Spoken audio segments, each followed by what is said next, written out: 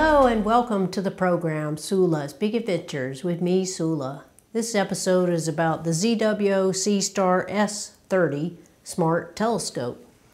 It was sent to me by ZWO in exchange for a review. They're aware that I am primarily a visual astronomer, but they sent it to me anyway because perhaps to get my take on it and see if it's something that might interest my audience, which I believe is primarily other visual astronomers. So here's my take on the Seestar S30.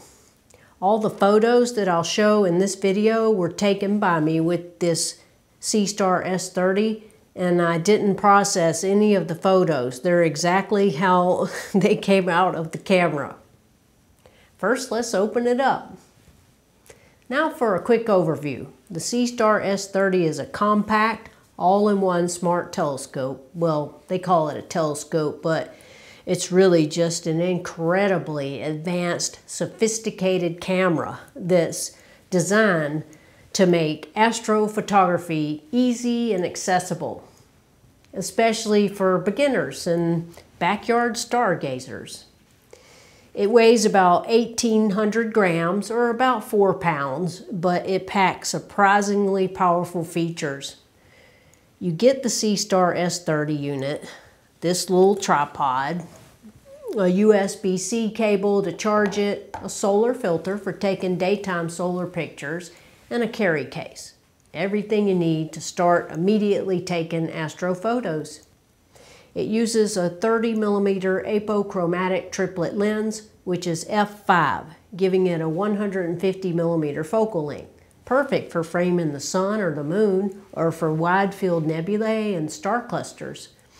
The main camera uses the Sony IMX662 Starvis sensor in full HD resolution, good for faint targets, and it has a clever dual lens design a main telephoto lens for detailed astro shots, and a wide angle lens for framing and looking around. You control everything with the Seestar mobile app, which locates the object, focuses on the object, tracks the object, aligns for you, and live stacks the images it takes automatically. And incredibly, it even uses AI to denoise the photo you can even use the framing tool that'll make a mosaic of a large object like the Great Andromeda Galaxy and it'll stitch the pictures into the mosaic together for you in the camera. It runs off of an internal battery that can last about six hours when you fully charge it.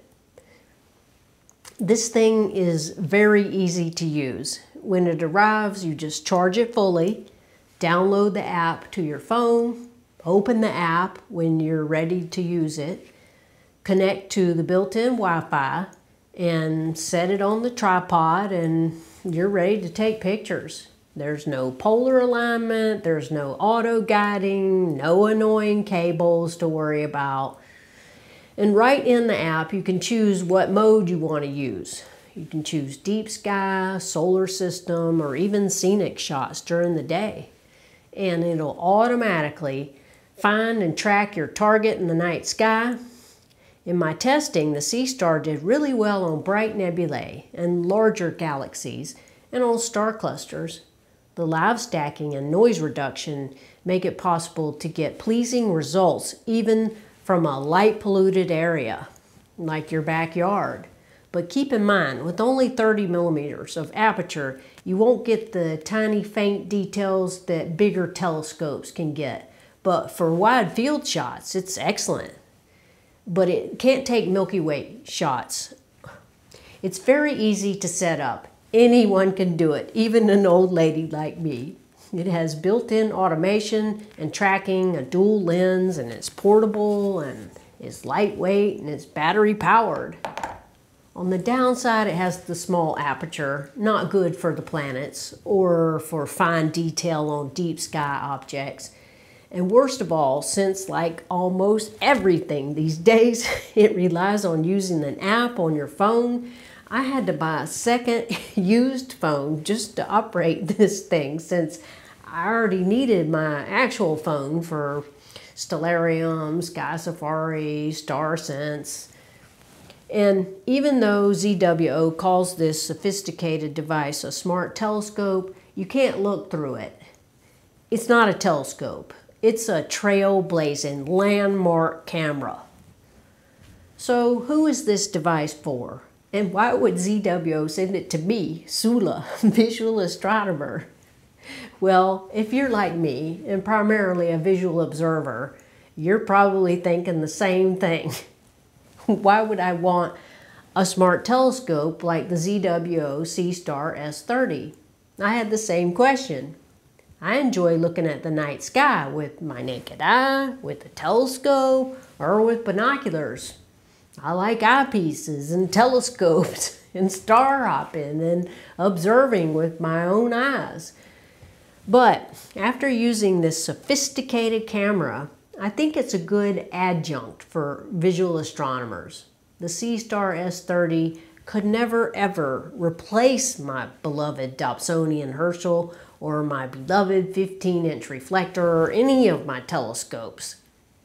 Instead, I just think of it as a tool to use to explain my visual observations to my audience.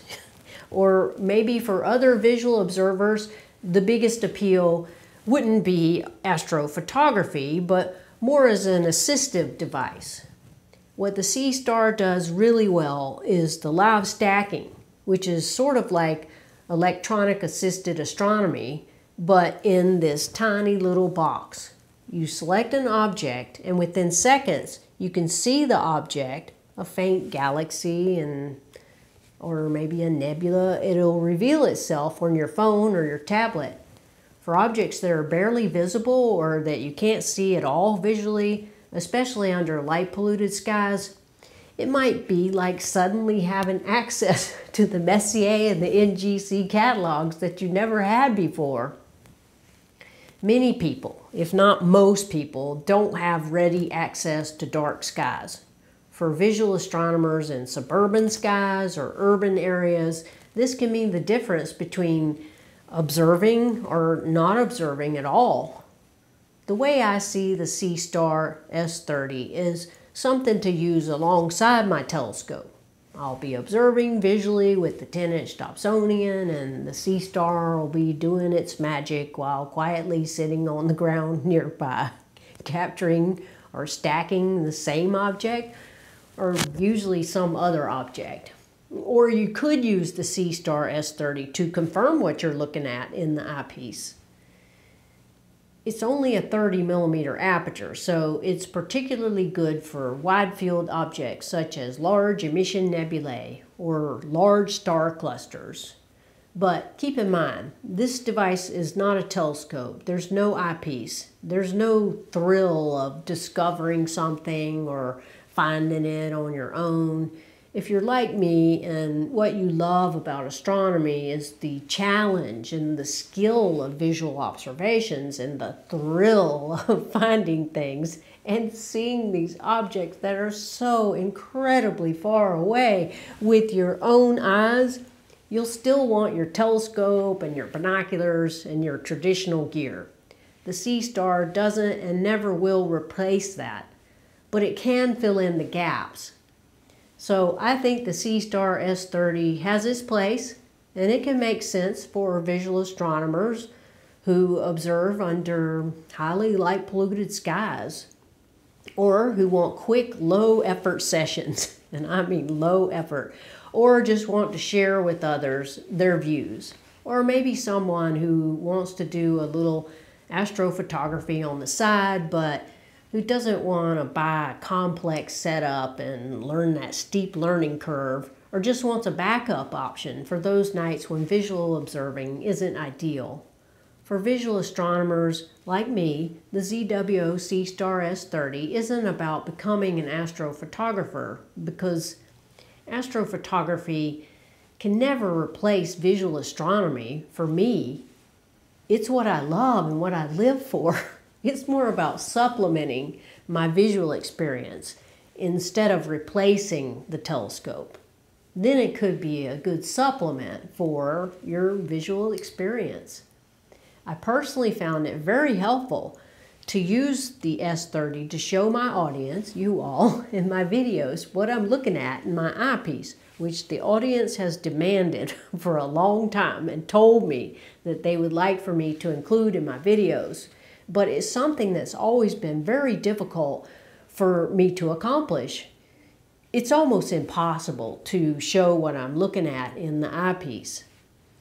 I don't think people liked my sketches that much, but with this little device, it's suddenly become much easier.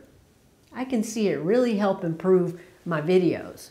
And I think for visual astronomers in general, it would make an excellent supplement to the visual experience. Well, I hope you enjoyed this presentation, my take on the Seestar S30. I'll see y'all soon. Dark skies forever. Tsula, signing off.